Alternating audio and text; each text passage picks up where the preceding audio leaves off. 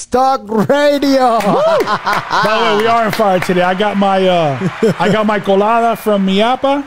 Oh my god. From Miapa, my little Cuban coffee. That stuff is really good. Yeah, Miapa is amazing, man. Amazing. All right, radio, guys.